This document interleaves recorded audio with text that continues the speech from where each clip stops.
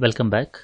In this video, I will discuss what is Q-learning algorithm and how to apply Q-learning algorithm so that the agent can learn the policy in reinforcement learning. This is how the Q-learning algorithm looks like. In the first step, for each s a, initialize the table entry q cap of sa to 0. That is nothing but for each possible states s and the possible actions a, we need to create a table and then we need to set the q cap of sa that is the every entry into, into that particular table to 0. Next we need to observe the current state s. Uh, let us say that uh, from the available uh, set of states we will select one state and we will assign that particular state as a current state. For that particular current state we need to perform these particular steps unless and until we reach this particular uh, goal state we need to perform these particular uh, steps here. In the first step select an action a and execute it. Let us assume that you have selected a particular state. From that particular state we can perform a different actions. From those particular available actions we need to select one action and then we need to execute it. Once that particular action is executed or performed we will get the immediate reward. Say that particular reward as r in this case. And whenever you perform an action a you will move from current state s to a next state. We will say that particular next state as s dash in this case. Once you perform an action a and received a reward R, after that you will reach S dash. Now you need to update the table entry of Q cap of S day, SA as follows. Q cap of SA is always equivalent to R that is nothing but the immediate reward plus gamma that is nothing but uh, the discounted uh, value multiplied by max of q cap of s dash a dash for all a a dash that is nothing but when you perform an action A, you will move to S dash that is the next state. From this particular next state, whatever the actions we can perform, we need to perform those particular actions and then we need to get the immediate reward. The maximum among those things will be the value of this one. And then we need to multiply that uh, maximum value with uh, gamma. Add it to immediate reward you will get the updated value for s comma a here. Once you perform this particular uh, step you need to assign this s dash. That's a new state to current state in this case once you reach the goal state you can stop here. Otherwise you need to go back here and then you need to select one action from the uh, s and then execute it. You receive the immediate reward. Once you receive the immediate reward you will get the new state. Once you receive once you go to the new state you need to update this particular q table entry again. The same process is repeated unless and until you reach what you can say that the goal state in this case. To understand this particular algorithm better way, I will take one example. Uh, This is the example uh, I will take. In this case, you can see here, uh, there are uh, six, uh, what we can say that the states are there, that is 0, 1, 2, 3, 4 and 5 and if you want to go from one step stage to another uh, state for example you are present uh, the agent is present in zeroth uh, state and uh, the agent wants to move to fourth state. He has to perform an action. That is this action. The actions are represented with edges. uh, we can give some names or the numbers to that uh, whenever agent moves from 0 to 4 the action is 4 here whenever agent moves from 4 to 0 the agent has performed an action of 0 Similarly, whenever agent moves from 2 to 3, the action is 3. Whenever agent moves from 3 to 2, the action is uh, uh, again you can say that uh, 2 in this case. Because uh, 5 is a goal state in this case, whenever you perform an action and you reach the goal state, the immediate reward uh, uh, will be maximum. In this case, it is 100 here.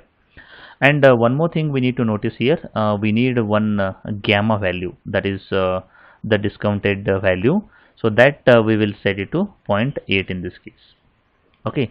So first of all I will write uh, gamma here and then I will have the value as 0.8 now as per this particular algorithm is concerned uh, we have two things. One is called as S and A. S is a set of state A is a set of actions in this case we have uh, states like 0 1 2 3 4 5 actions are again 0 1 2 3 4 5 here.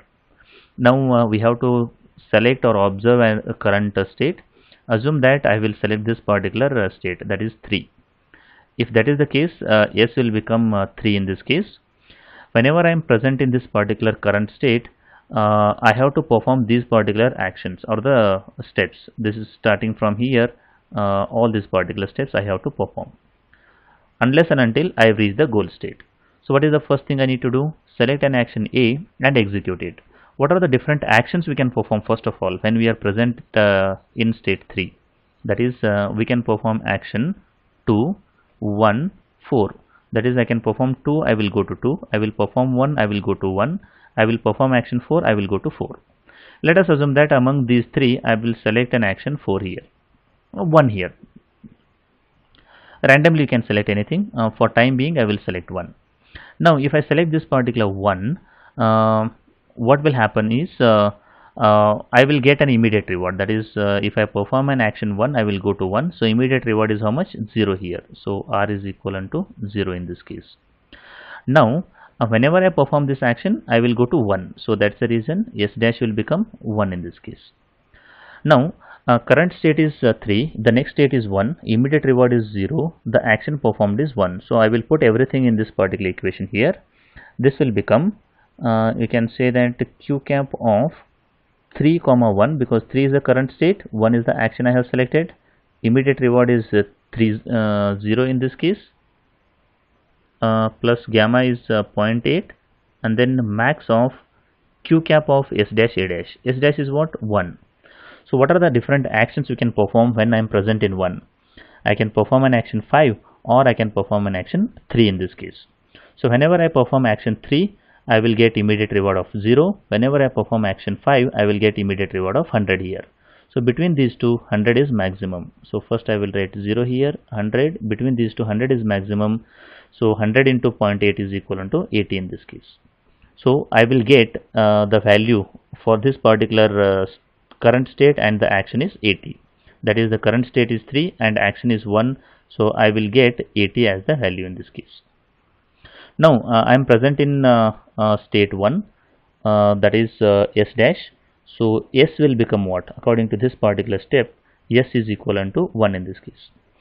Now this one is not a goal state so we have to consider this as a current state and then we need to perform unless and until I reach the goal state here.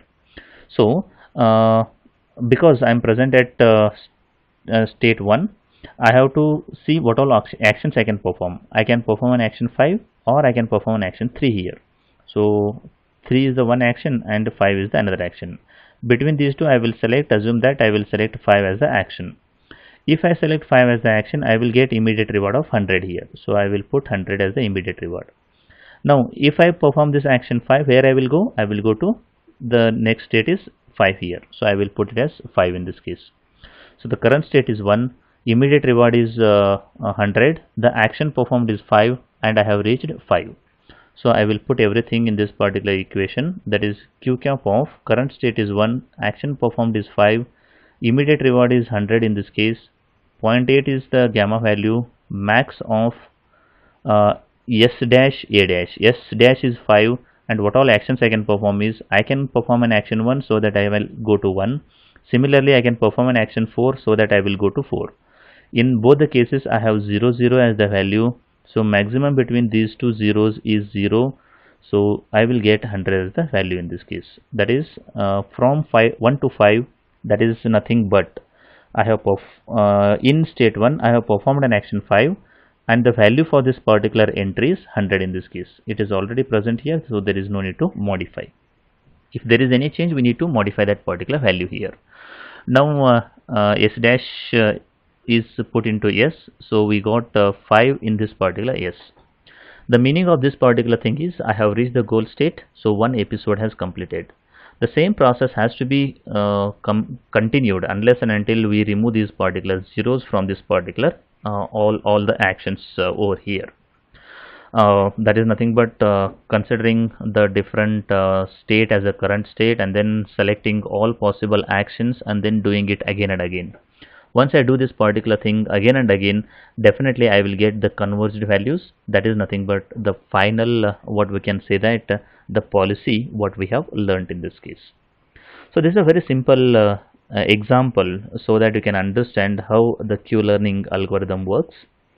In the next video, I will uh, consider the same example one more time and then I will try to solve it uh, completely. And that is uh, for each and every age, I will try to solve it uh, so that we will get the final, uh, we can say that the policy in that case. I hope you understood uh, what is Q-learning algorithm and how to apply the Q-learning algorithm so that the agent can learn the policy. If you like the video, do like and uh, share with your friends. Press the subscribe button for more videos. Press the bell icon for regular updates. Thank you for watching.